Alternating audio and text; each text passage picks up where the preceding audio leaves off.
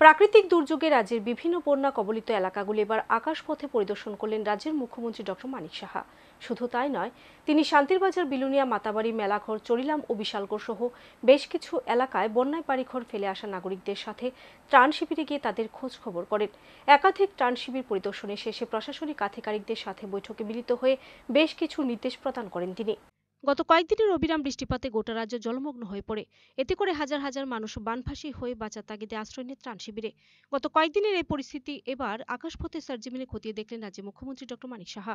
শুক্রবার আকাশপথে তিনি শান্তিরবাজার, বিলুনিয়া, মাতাবাড়ি, মেলাঘর, চরিলাম, বিশালগড় ও আগরতলা সহ বিভিন্ন বন্যা কবলিত এলাকা পরিদর্শন করেন।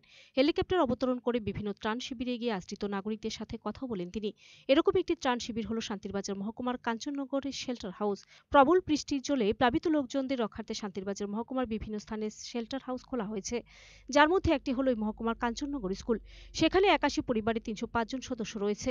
শুক্রবার কাঞ্চননগর স্কুলের শেল্টার হাউস পরিদর্শন করলেন মুখ্যমন্ত্রী প্রফেসর ডক্টর মানিক সাহা।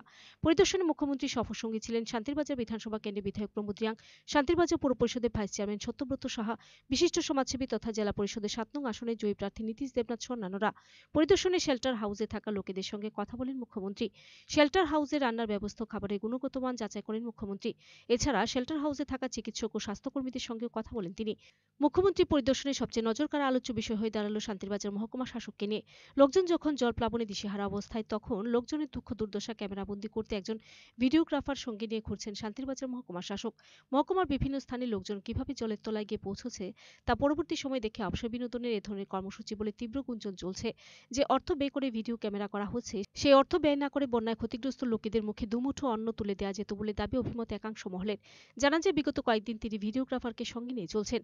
এদিকে কাঞ্চননগর স্কুলের শেল্টার হাউস পরিদর্শন করে শান্তির বাজার পূর্ত দপ্তরের ডাক বাংলো এসে আধিকারিকদের সাথে বৈঠক করেন মুখ্যমন্ত্রী।